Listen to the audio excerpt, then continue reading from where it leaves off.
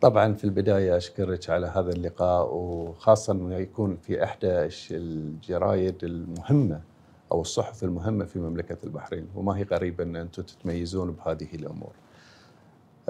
بداية خالد القعود كانت بداية بسيطة في عائلة جميلة. هذه العائلة تعلمت أنا منها الكثير وكانت نشأتي معاهم من أول ما فتحت عيني في الفترة اللي أنا ما كنت أدرك فيها أي شيء وقصة الوالدة لي آه، لما ولدتني في المستشفى الأمريكي تقول أول ما ولدتك سمعت أجراس الكنيسة يطقون مع أن والدتي من أكثر الناس الملتزمين دينيا. فكنت أقول لها هذه يمكن أن دلالة أن أنا مرحب فيني من أكثر من من من ديانة ومذهب. مرت معي هذه القصة. دراستي كانت في البحرين تخرجت من الأكاديمية العربية للتكنولوجيا والملاحة البحرية بالإسكندرية في مصر. وواصلت في آه، دراستي وأنا أعمل في بداية حياتي. غيرت عملي مرتين في الحياة قبل ما أنا أختار أن أنا أكون رجل أعمال. كانت بدايتي في شركة ألمنيوم البحرين ألبا اللي قضيت فيها 13 سنة. وبعدين في المكان اللي تعلمت فيه فن التجارة. وهي أحد الشركات أو مجموعة الشركات العائلية اللي اليوم عمرها في في القطاع التجاري 140 سنة. وهي شركة يوسف بن أحمد كانو ومنها انطلقت إلى أن أنا آه، أبتدي آه، بتأسيس آه، مؤسساتي اللي تحولت إلى شركات. والحين صارت مجموعة شركات في أكثر من دولة سواء كانت في مملكة البحرين أو في دولة الكويت والحين في دولة الإمارات العربية المتحدة. والفرع اللي موجود في بالي وعندنا بعد شراكة مع إحدى الشركات في الولايات المتحدة. طبعا طفولتي كانت ما بين الطفولة الشقية والطفولة خلينا نقول البريئة. فطفولتي كانت طفولتي الشقية انبنت من الحياة اللي كانت بالنسبة لي سابقا نفس الحياة العسكرية بأن إحنا لازم نكون في البيت الساعة سبعة ولازم ما نكون برا البيت. فصارت لي أمور كثيرة في حياتي يعني أبرزت الجانب الشقي فيني.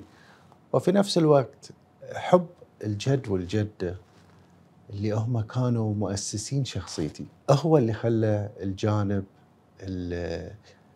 خلينا نقول الإنساني اللي ينظر حق سعادة الغير أكثر من إنه هو ينظر حق سعادته. واحدة من طرائف الطفولة كانت إن أنا بدل ما أكون برا البيت الساعة 7 وكنت ألعب كرة القدم آه، أمام البيت مع أصحابي قلت لهم يلا تعالوا نلعب كرة القدم داخل البيت فوإحنا نلعب هذه اليوم كسرت فيه أغلى فازه موجودة أو مزهرية في البيت وكان العقاب شديد. فكان العقاب إن إحنا اتذكر إن أنا انربطت في آه، في النخلة لمدة.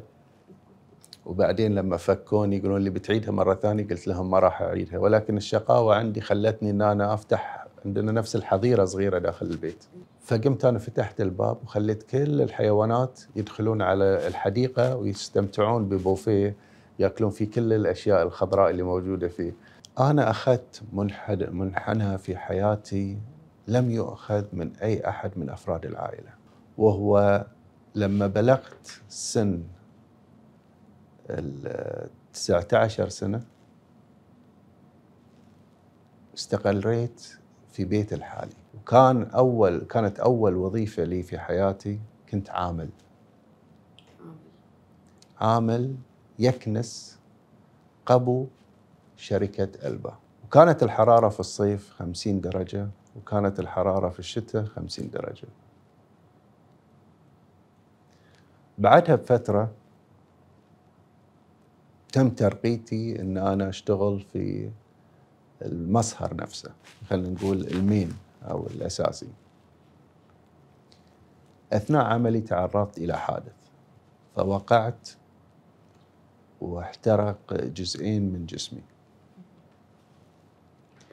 أثناء الحادث لما كانوا بي- بيأخذوني على المستشفى وقفوا سيارة داخل المصنع فيقولون له يد يد خالد محترقة لازم نوديه المستشفى اللي داخل شركة ألبا. العامل شاف الإيد وشرد ساق السيارة وراح. هذا الحادث كان هو سبب نقلة حياة خالد من المكان اللي هو فيه إلى ما توفقت من الله سبحانه وتعالى والناس اللي كانوا واقفين معاي في عائلتي الكريمة والناس اللي كانوا واقفين معاي لتعليمي الطريق الصحيح في الحياة إلى المكان اللي أنا فيه. فلما رحت على المستشفى وتم معالجتي وفي إحدى الزيارات المتابعة آه، لأن الإيد كانت محترقة وجزء من الظهر الدكتور قال لي أنت لازم تقعد ثلاثة أشهر في البيت ما تجيس أي شيء وبعدها ترجع على عملك تقعد في مكان بارد ما راح تشتغل في نفس المكان اللي أنت فيه مدة ثلاثة أشهر وما نعتقد إن يدك ممكن ترجع مثل ما كانت بالأول. بالنسبة لي هذه كانت أكبر صدمة في حياتي. إن كيف أنا في بداية مشواري في الحياة صار لي هذا الشيء اللي هو قضاء وقدر. بس كيف راح أقدر إن أنا أواصل حياتي وأنا أحد أجزائي المهمة ما يعمل؟ أحد خالاتي كانت أكبر سند لي في هذه الفترة. اسمها الخالة بلقيس. فوقفت معاي وساندتني وفي يوم وأنا قاعد أطالع التلفاز لقيت أمامي ورقة وقلم. حالي حال أي أي إنسان لما يحصل ورقة وقلم يا نقعد نرسم أو نشخبط وأنا ما كان عندي أي هدف ان أنا أسوي في هاي الورقة والقلم. فقمت ورسمت مربعات في أسفل الورقة وما كنت أدري حتى ليش أنا قاعد أسوي المربعات هذه بس كنت حاطها كأشكال.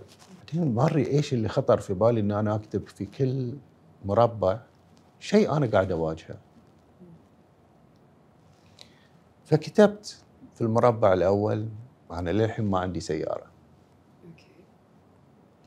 في المربع الثاني كوني توني مشتغل كأي واحد. يعني يعني عادي راح ياخذ له قرض. أساس إنه يقدر إنه هو يعيش الحياة اللي يبغى يعيشها. ففي المربع الثاني كتبت ان عندي قرض. المربع الثالث كتبت إن أنا ما أقدر إن أنا أكون فت حق العمل في أي قطاع. المربع اللي بعده كتبت إن أنا عامل في شركة. المربع اللي بعده كتبت ان أنا للحين ما ما أسست لي عائلة. المربع اللي بعده كتبت ان أنا للحين ما عندي بيت. وأنا قاعد في سكن إيجار. وغيره وغيره من الأمور. فلما نظرت إلى اللي أنا كتبته في هذه المربعات اكتشفت إن حياتي سيئة وما هي إيجابية. وكل شيء قاعد أنظره وكتبته في هذه الورقة كيف راح أقدر أجتازه؟ وما كان عندي أي قدرة إن أنا أجتاز كل هذه التحديات وكانت شهادتي ثانوية عامة وكتبت في واحد من المربعات ثانوية عامة. خطر في بالي إن أنا أسوي نفس المربعات فوق إذا هذه حالتي أنا شو اطمح له؟ واحتفظت في هذه الورقة إلى اليوم. فالورقة اللي ما كان فيها ما عندي سيارة كتبت في في ال- في المربع اللي فوق في الورقة سيارة وكتبت بورش. ساكن في بيت إيجار كتبت أملك بيت. ثانوية عامة إلى دكتوراه. عامل في شركة إلى مالك لشركة. آه، قرض إلى استثمار. فيوم شفت الأشياء اللي كتبتها في أعلى الورقة قلت هذا من سابع المستحيلات. إن في يوم من الأيام هذه الأشياء تنجز. شيء من الأحلام.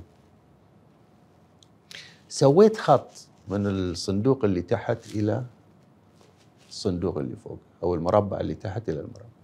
وقعدت أكتب. اللي عنده ثانوية عامة يبي يحصل دكتوراه لازم شو يسوي؟ فكتبت دبلومة بكالوريوس ماجستير وحطيت سعر كل واحد فيهم وكم يدفعون إذا مقسط هذا إذا أنا علي قرض كم لازم أدفع؟ كم المبلغ المتبقي؟ فيش كثر لازم أدفعه؟ شلون راح أدفعه؟ شلون أستثمر؟ السيارة اللي كنت أحلم فيها كم مقدمها؟ يوم سمعت مقدمها يوم سمعت قلت هاي لا مستحيل زين البيت شلون أدفع له مقدم؟ شلون بيصير عندي بيت؟ فكل هذه الاشياء انكتبت على هذا الخط وهو رايح لفوق. الورقة هذه كتبت في ديسمبر 1998 وتحديت نفسي فيها وقلت ما حد بيمد لي يد العون إذا أنا ما ساعدت نفسي في البداية. فكان عندي إصرار إن أنا في البداية كان كان حلمي ان أنا أنجز 10% بس من هذه الأمور. وبديت. وكانت مقولتي لشخصي وأنا أصحى الصباح أنا تحدي الحاضر ونجاح المستقبل. هذه الكلمة هي كانت أكبر محفز لي حتى لما كنت أمل من الروتين اللي أنا أسويه ومن طبع الإنسان أنه يمل من الروتين فهذه كانت واحدة من الأشياء المحفزة لي أن أنا أستمر. ومشيت على هذه الورقة. اليوم أنجزت فيها 99% واللي اكتشفته أن أكبر عائق لنجاح الإنسان في حياته هو الإنسان نفسه. وأكبر خطأ في اتخاذ القرارات هي القرارات النابعة من العاطفة. أنا مؤلف حق أكثر من عشرين كتاب كتب إدارية وتعليمية. والحين قاعد أسرد كتاب. وراح أعطيك من من مقتطفاته أن 89% من سبب فشل الإنسان في حياته أن قراراته نابعة من العاطفة. والسبب الثاني في عدم نجاحه في الحياة هو الحرب الداخلية اللي يعيش فيها مع نفسه. وثالث معضلة عظيمة تواجه نجاح الإنسان هو عدم اعترافه بأنه إنسان أناني داخليا. رمضان الأول كنا كل يوم آه، لما نقعد في بيت آه، جدي وتنمد الصفرة وينحط عليها الأكل اللي يعد في البيت بس ننتظر متى الجرس ينطق. لأن يوميا في رمضان من أحد الأسر الكريمة يبون لنا نفس الطبق. صحن هريس وصحن آه، مضروبة صحن هريس وصحن ثريد وهريس وعيش ودجاج فهذه كان شيء يومي. مع أن إحنا عندنا الهريسة في البيت وعندنا الثريد وعندنا العيش سواء كان مع الرز مع الدجاج ولا اللحم بس بيت الجيران كان أكلهم طعمه غير. ف نقعد على الطاولة وننتظر متى الجرس ينطق. قبل الأذان بخمس إلى عشر دقائق فهذا كان توقيته في رمضان. رمضان هو من أحلى الأشهر عندي أنا يزيد في التواصل ما بين آه، أصحاب المجالس بالإضافة إلى لذة عمل الخير في رمضان مختلفة طوال هذه السنوات اللي فاتت وإلى قبل فترة الكورونا كنا في نص رمضان نزور جميع الأطفال في مستشفى السلمانية. في رمضان في كل سنة عندنا إفطار صائم. في رمضان في كل سنة عندنا مسابقة آه، وهذه بدأت من فترة بسيطة يعني بدأت من خمس سنوات. أفضل صوت في تلاوة القرآن وأفضل صوت في الأذان. آه، بالإضافة إلى أمور كثيرة السلة الرمضانية. نستمتع في توزيعها وناخذ معنا كثير من الأطفال. فلما نشيل آه، السلة مالت رمضان ونحطها أمام البيت اللي نبغي نعطيه فنطق الباب فنخلي الولد الصغير هو المتطوع الولد الصغير هو اللي يتكلم. فيقول السلام عليكم إحنا جيرانكم جايبين لكم سلة رمضان. دائما نركز في هذه الأمور اللي مو بس في رمضان نقوم بها ولكن في رمضان وغير رمضان. في الأيام العادية كل جمعة وترك عندنا توزيع 100 وجبة في أحد قرى المملكة. وناخذ معنا من الفئة الشابة. إحنا ليش نسوي كل هذه الأمور؟ إحنا بلد خير وعمل الخير فيه من من الأزل. بس لازم نركز في إن إحنا نغرس هذه خلينا نقول الروح عند الشباب اللي راح يمسكون زمام الأمور. خلى مثل ما نقول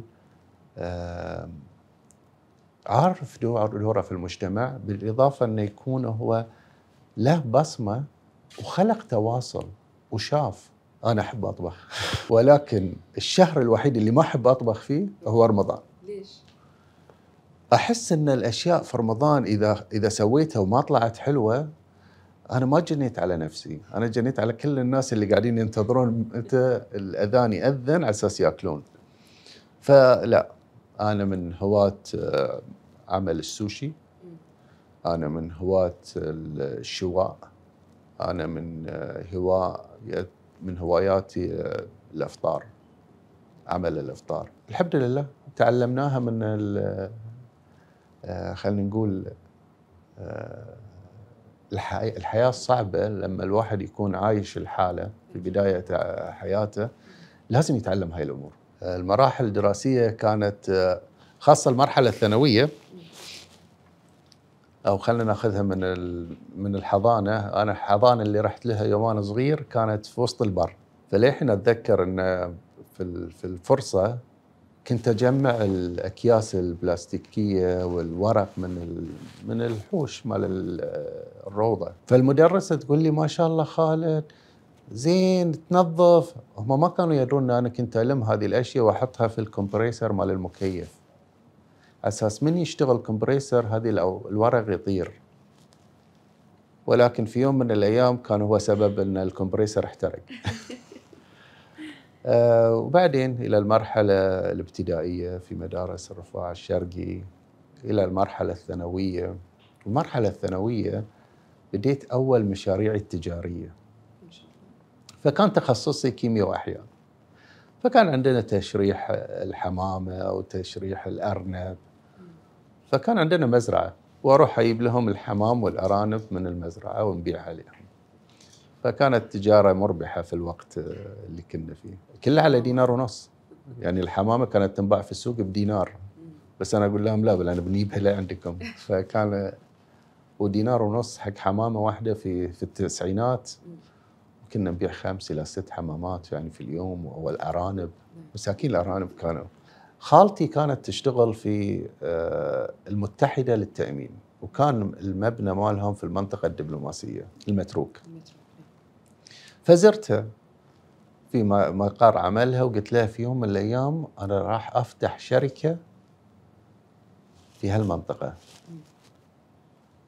فالحين اتذكر الإجابة تقول لي آه، الله يحفظها ويطول في عمرها خالتي عايشة تقول لي آه، إجابتها أنت تفلح في دراستك أول؟